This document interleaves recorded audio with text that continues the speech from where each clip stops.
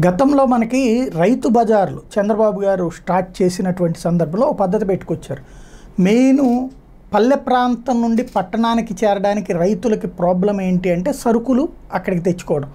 ఈ సరుకులు తెచ్చుకోవడానికి అయ్యే ట్రాన్స్పోర్టేషన్ కాస్ట్ ఎక్కువ అవడంతో ఆ సరుకుల్ని ఇక్కడికి తెచ్చుకునేటువంటి ఓపిక లేక ఆ అక్కడి నుంచి ఇక్కడికి వచ్చేటువంటి ధరతో అక్కడే అమ్మేసుకోవచ్చు పది రూపాయలు తగ్గితే పోయిందిలే.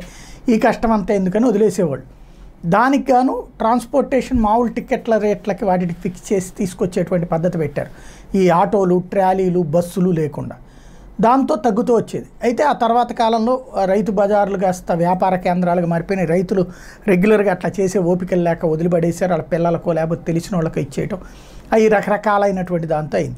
అయితే మళ్ళీ సుదీర్ఘకాలం తర్వాత దేశవ్యాప్తంగా ఒక సిస్టమ్ని తీసుకొచ్చింది నరేంద్ర మోడీ. ఏదైతే రైతులకు సంబంధించినటువంటి వెరైటీస్ ఉత్పత్తి తయారైనటువంటి వాటిని ఒక రాష్ట్రం నుండి ఇంకో రాష్ట్రానికి ఒక ప్రాంతం నుండి ఇంకో ప్రాంతానికి ఇదివరకు కూడుసు రైళ్ళ ద్వారానే తీసుకెళ్ళాలి. అయితే కిసాన్ రైళ్ళని ప్రత్యేకించి పెట్టి వాటి కోసం పర్టికులర్గా వ్యవసాయ ఉత్పత్తుల్ని ఒక ప్రాంతం నుండి ఇంకో ప్రాంతానికి తీసుకెళ్ళి అమ్ముకునేటువంటిది. అయితే రైతులే డైరెక్ట్గా అమ్ముతారంటే అమ్మకపోవచ్చు. కానీ ఆ పల్లె ప్రాంతాల్లో రైతులకు వేగంగా డబ్బులు వస్తాయి ఈ కిసాన్ రైళ్ళు అనేటువంటిది పెట్టిన తర్వాత ఈ ఇప్పటిదాకా పదహారు వందల కిసాన్ రైళ్ళు నడిచినాయి అన్నటువంటిది తాజాగా ప్రభుత్వం అధికారికంగా చెప్తున్నటువంటిది ఐదు లక్షల ఇరవై వేల టన్నుల వ్యవసాయ ఉత్పత్తులు ఒక ప్రాంతం నుండి ఇంకో ప్రాంతానికి అతి తక్కువ వ్యయానికి చేరవేయడం ద్వారా గిట్టుబాటు అనేటువంటిది సులభంగా లభించేటట్టు చేయగలిగినాయి.